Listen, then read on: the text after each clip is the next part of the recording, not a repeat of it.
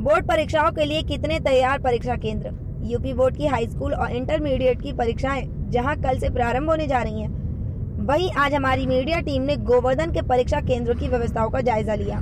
गोवर्धन के राष्ट्रीय inter college में परीक्षा कराने की तैयारियाँ चल रही हैं। जिसके अंतर्गत कमरों की साफ़ सफ़ाई, डेस्क के ऊपर छात्रों के नाम की स्लिप लगाना, सीसीटीवी कैमरे आदि की व्यवस्थाएँ की गई। वहीं कॉलेज की प्रिंसिपल डॉक्टर रजनी श्रीवास्तव ने बताया कि परीक्षा केंद्र की दृष्टि से विद्यालय की सभी व्यवस्थाएँ वैसे तो पूर्ण कर ली गई हैं, लेकिन साफ़ सफ़ाई करने वाले कर्मचारी के रिटायर हो जाने के कारण यहाँ कोई भी सफ़ाई कर्मी नहीं है।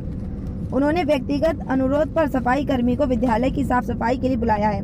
साथ ही उन्होंने बताया कि उनके परीक्षा केंद्र पर 10 स्कूलों के लगभग दो सौ सत्तानवे छात्र हाई स्कूल की तथा चार विद्यालयों के लगभग 275 छात्र इंटरमीडिएट की परीक्षा देंगे। वहीं परीक्षा की तैयारियों के नाम पर विद्यालय के कुछ अध्यापक आपस में गप्पे मारते हुए और मोबाइल चलाते हुए नज़र आए। मैम क्या नाम है आपका? डॉक्टर रजनी कुमारी श्रीवास्तव मेरा नाम है। आप यहाँ राष्ट्रीय इंटर कॉलेज में प्रिंसिपल हैं। जी हाँ। मैम जैसा कि कल से एग्ज़ाम स्टार्ट हो रहे हैं हाई स्कूल इंटर के जी। तो अपने कॉलेज में लगभग कितने बच्चों के हैं कितने स्कूल के हैं? बच्चे पेपर देंगे यहाँ पे कुछ थोड़ा सा इसके बारे में। हाई स्कूल और इंटर दोनों का सेंटर मेरे यहाँ है। हाई स्कूल में कितने हैं? हाई स्कूल के लगभग दो सौ सतानवे जिसमें दस विद्यालय के छात्र हैं। इंटर के दो सौ पिचहत्तर जिसमें चार विद्यालय के छात्र छात्राएँ हैं।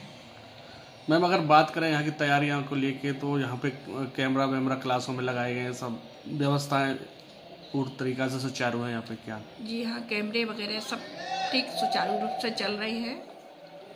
पर दिक्कत आ रही है सफ़ाई कर्मी हमारे पास नहीं है।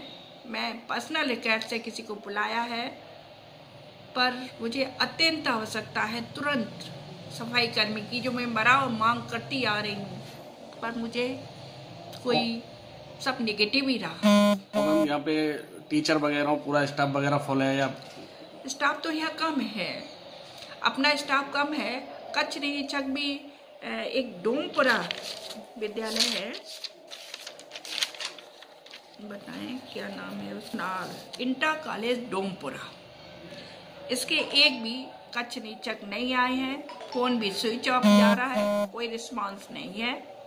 बार बार मैं डी में रिक्वेस्ट कर रही हूँ पर कुछ भी नहीं। अभी- नहीं। मतलब कुल मान के कह सकते हैं कि आधी अधूरी तैयारियों के बीच यहाँ पे मैं बराबर अपना प्रयास कर रही हूँ। आप पर- अपनी तरफ़ से प्रयास करें ये लेकिन अभी तक आपको पूरा सहयोग नहीं मिल पा रहा है ऊपर से। G B B S A वो बेसिक वाले कुछ दो चार लोग आए हैं। भगवान सिंह इंटर कॉलेज नीम गाँव वाले ने कार्ड वगैरह भेज दिया आश्वासन दिया है कि डेढ़ बजे तक वो भेज देंगे।